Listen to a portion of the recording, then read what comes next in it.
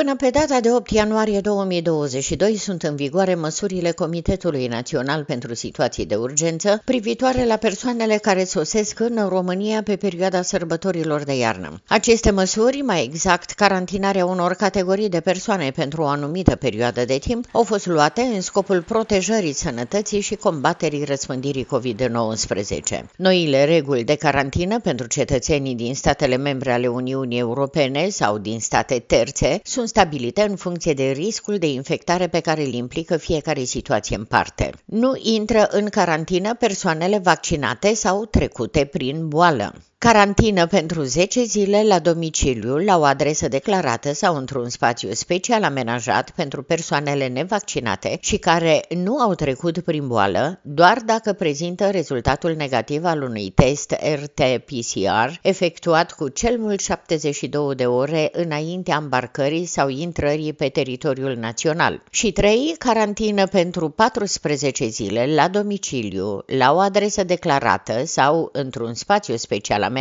pentru persoanele nevaccinate și care nu au trecut prin boală, dacă nu prezintă rezultatul negativ al unui test RT-PCR efectuat cu cel mult 72 de ore înaintea îmbarcării sau intrării pe teritoriul național. În această perioadă sunt așteptați să revină în țară și mulți hunedoreni, iar acestora polițiștii le transmit să respecte prevederile legale aflate în vigoare. Oamenii legii, deși nu își doresc să aplice sancțiuni, își vor face datoria. Cei inculpă riscând amenzi între 1000 și 5000 de lei sau chiar pedepse cu închisoarea cuprinse între 6 luni și 2 ani.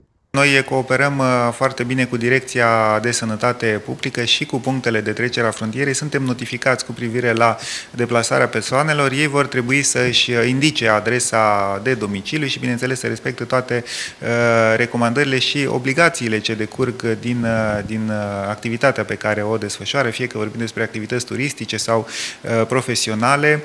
Dacă se constată încălcări ale perioadei de carantinare, fie că sunt persoane infectate sau uh, persoane care uh, au declarat că se vor afla la o anumită uh, adresă, bineînțeles că, din păcate, suntem nevoiți să aplicăm și sancțiuni contravenționale. Nu ne dorim acest lucru, însă, în măsura în care se constată astfel de abateri, sunt prevăzute de lege fie dosare de cercetare penală pentru zădărnicirea combaterii bolilor, fie măsuri de sancționare contravențională.